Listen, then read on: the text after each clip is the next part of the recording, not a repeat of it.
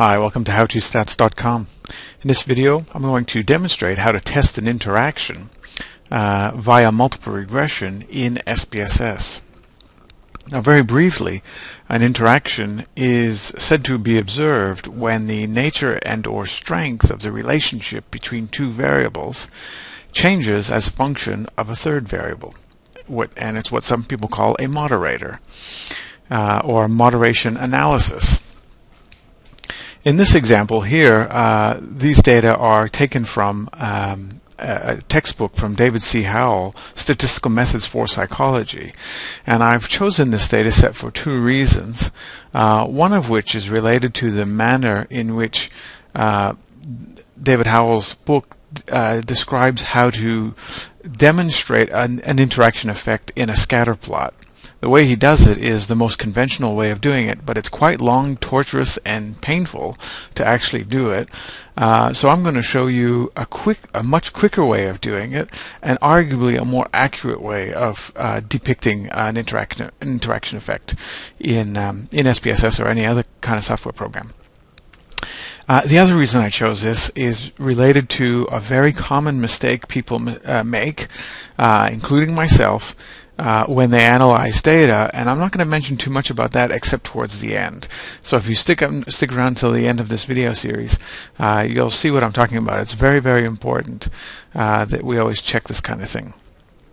So I'm going to describe describe the study. This is actually data based on a study that was published in 1988 uh, by Wagner, Com Compas, and Howell.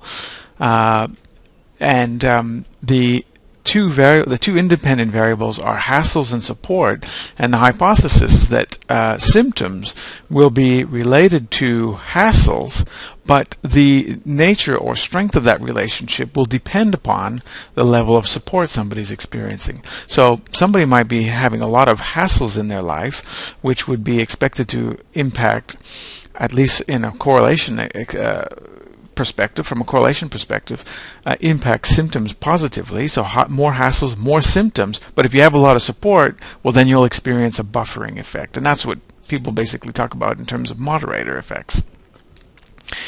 So to test this hypothesis statistically, uh, usually what you have to do is uh, you have to take into you, you basically model the interaction effect by a product term. You literally multiply hassles scores by support scores. Uh, so this is your your independent variable, your main effect, and this is a main effect, and you multiply the two effects together. But before I do that, let's look at the correlations between the uh, the variables.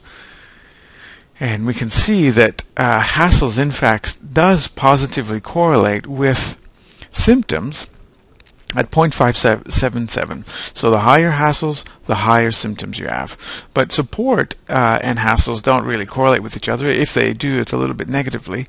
And support and symptoms also don't really correlate with each other. And if anything, it's a little bit negatively.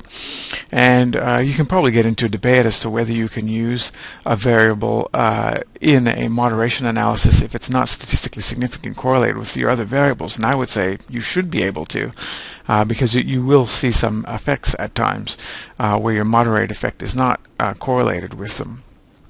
Uh, but I'm just showing you the nature of the correlations here. Now, if I calculate a hassles by support product term, then uh, very likely there's going to be some big correlations between those two variables independently with that product term. And I'll show you what I mean by that. So if we transform and compute and create a product term to represent the uh, interaction effect, so literally multiply these together, we will find that when we correlate them, with the other main, the other variables that we get a big big correlation between hassles and hassle support. So it's 8.835 uh, correlation between hassles and hassle support. And the way we test interaction hypotheses, we have to include the main effects first and then the product term. Well, this is going to cause problems related to multicollinearity, some people would argue.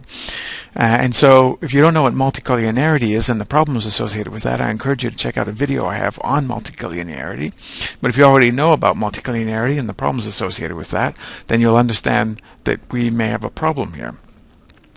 So to counteract that, what people do